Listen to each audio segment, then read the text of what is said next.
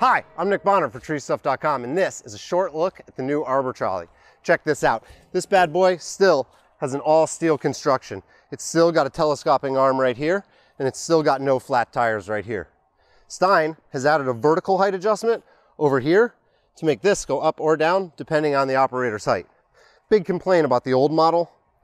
There was a piece of square steel here and it would get dented and these arms that fit in there would uh, not fit in anymore. This is a piece of straight round pipe, round steel, and it fits right into a round connector here, which is gonna be much more durable. These new skid plates, look at these things. Giant steel spikes. And these mount on the front and the back of the arbor trolley here to stop the wood from sliding around. Pretty sweet. My favorite feature are these new clamshells. Look at these. These are all steel. Slot them in one at a time and they hook and snap on over to the top bar there.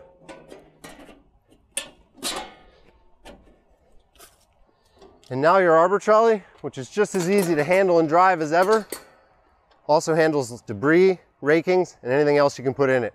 Check it out, treestuff.com, and keep your eyes out for a more complete video on the arbor trolley to come. Thanks for watching.